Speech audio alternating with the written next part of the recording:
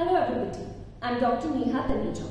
Today we'll be discussing another important topic of biostatistics about which students keep asking and they've asked specially for me to make video on that. The topic is tests of statistical significance. You are definitely going to get MCQs from this topic. Also, it's uh, one of the most favorite Viva questions and maybe you might get in your university question to solve a numerical. So let's start. So before we do any study, we frame a research question. For that, we generate a hypothesis. Hypothesis, if you've seen my earlier videos, you would understand it is a statement that is yet to be verified. So I've put an example for you. Suppose a researcher wants to compare the height of boys and girls. For this, he will generate a null hypothesis and an alternate hypothesis. The null hypothesis in this case would be that height of boys and girls are similar and any difference observed between the heights is by chance. What will be the alternate hypothesis? Which it will be the height of boys is higher than the height of girls. So observed differences between height is real. Now my study is to compare the heights of boys and girls. I have generated two hypotheses. Now I need to verify my hypothesis. Doing this is where the test of statistical significance comes into play. So what are tests of statistical significance? These are tests that help a researcher to confirm the hypothesis. So these tests of statistical significance, like I told you, helps the researcher to decide whether his hypothesis are true or not. Now there are a lot of statistical tests but for your MCQs, for your exams, what is needed is that these statistical tests are divided into two main types. They are what I have written down, parametric and non-parametric tests. So let us understand the difference between the two. So tests of SS statistical significance is divided into two. One is parametric parametric test and the other is non-parametric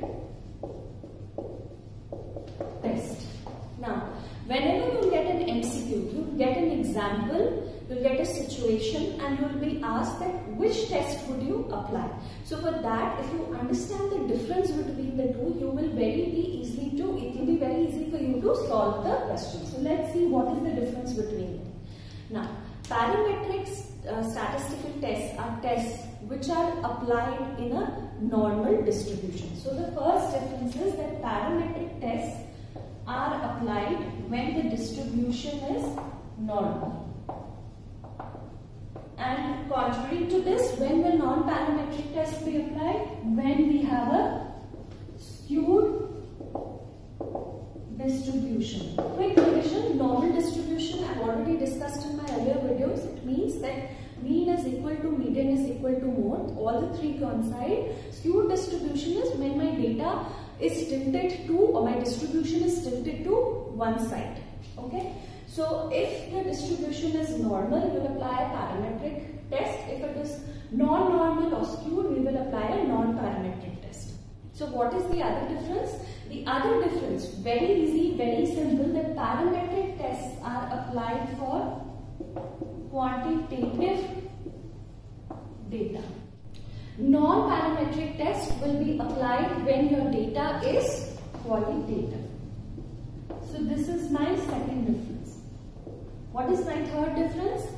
A parametric test is applied when my scale of measurement scale of measurement is a metric scale. Okay, that means it's a interval or ratio scale. This we have already studied. And a non-parametric test is applied when we have a nominal or ordinal scale. Okay, that is when the data is being measured by using an ordinal scale or a nominal scale. Now, if you look at these three differences, you might still be thinking that I am not yet clear which test to apply. So, there is a very simple way for this. So another difference is that if in your question you see that you are given means and SDs or standard deviations or if you have to compare means and standard deviations then you straight away will apply a parametric test. This is very important point to know in order to solve MCQs and if here if you see that your question has percentages, proportions okay, percentages and proportions, then you have to use a non-parametric test. So you have to see in your question whether they're talking about means, SDs or percentages and proportions. The last point is that parametric tests are more powerful than non-parametric tests. So this can also come as a, a, university question. These are the main differences. To be able to solve your MCQ, please remember if you are given means and SDs, you will use parametric test. If you are given percentages and proportions, you will use a non-parametric test. Now let us see some of the important parametric and non-parametric tests that you need to know to solve MCQs. Some of the parametric tests that you should know are t-test, student t-test it's also called. In this you have paired t-test and unpaired t-test. And the other parametric test that you should know is ANOVA. The non-parametric test that you should know is sign test or you also have sign rank test.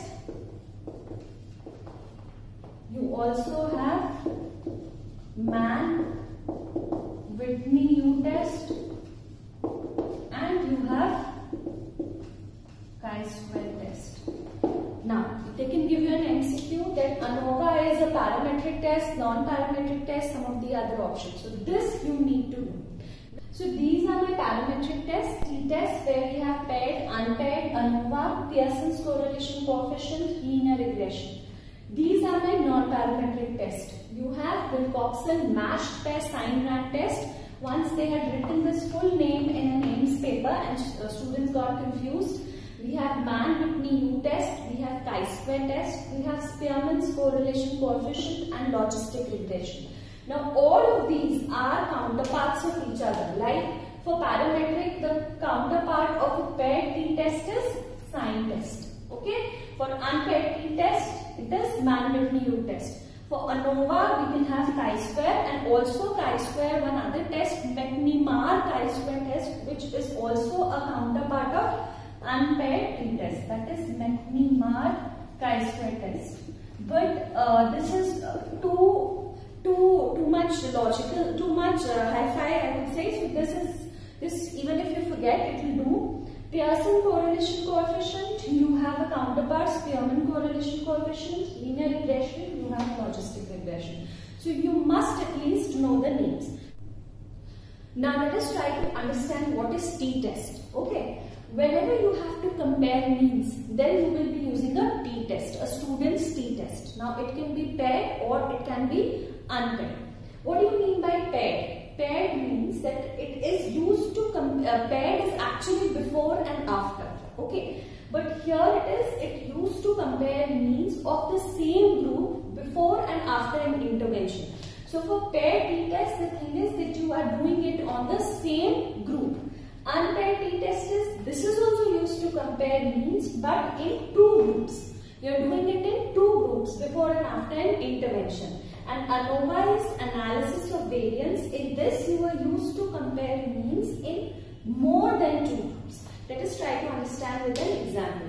First let us look at a paired t-test. Suppose you have a question or you have an example like a new drug for weight loss is being tested among 10 patients. Okay. So, uh, n equal to 10, the mean weight of that group is say 70 or say 100 kgs. Okay, suppose this is 100 kgs. Now I've launched the drug and I want to see what is the effect of that drug on the weight of these 10 people. So I will give that drug say for 3 months.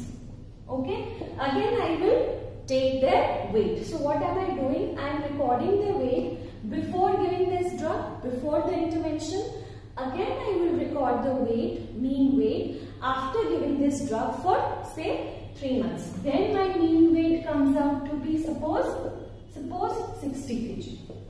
Okay. But whom am I testing this drug on? On these same 10 people. So I'm doing this uh, this testing of the drug on the same group of people. So this becomes a paired t-test. Now for an unpaired t-test, suppose I do it in two different groups, boys and girls. I will now compare their needs. Here I have 10 boys, here also I have 10 girls. Okay, here the mean weight of the boys is say 160 kg. I give the drug for say 3 months. Okay, then again I record the weight. Similarly, I do it for girls. So what am I doing? I am comparing the means of two groups before and after an intervention. So this becomes an unpaired test. Now suppose I have more than two groups. Suppose I have three groups, 30 groups. Suppose I have to consider the mean systolic BP of uh, patients in say surgery ward. Okay, I have different number of wards. So in that case, it will become which test we will use? ANOVA test. So if your question comes, you need to first figure out whether you need to use a parametric test or a non-parametric test. Since the question involves mean weight, it is clear that you will be doing a parametric test. Now, out of that, which test out of these three? So you have to see whether you're doing it on the same group, you're doing it on two different groups or you're doing it on more than two groups. Now, the counterpart I told you of paired t-test was uh, sign test, right? And of unpaired t-test was Mann-Whitney test. So just to understand, I'll give you one example. Now suppose we have a group of 200 people, okay? And out of this, say, 40% are diabetic. Okay, now I give a drug and that drug I give it for 2 months. X is given for 2 months. Now I see that after giving that drug for 2 months, only 10% are diabetic and I ask you which statistical test of significance is used. Now, what will you see? First I told you that look at the values. Here the thing is given in percentages. So you are clear that this is not for parametric test. We cannot apply. This is a non-parametric test. And we are doing it in the same group of people. So this is a non-parametric test, a counterpart of paired t-test, which I have told you is a sign rank test. Okay. Now suppose the same question was I have n equal to 200. I have two groups boys and girls or males and females and in this there are 50% diabetic, here there are 60% diabetic. I get the drug for 2 months, now here 10% remain, here say 5% remain. So which test will I use? Now here what am I doing? I am doing it, uh, I am comparing percentages and proportions so it automatically becomes a non-parametric test and I'm doing it for two groups so it will be a counterpart of unpaired t-test which I told you was a Mann-Whitney U-test.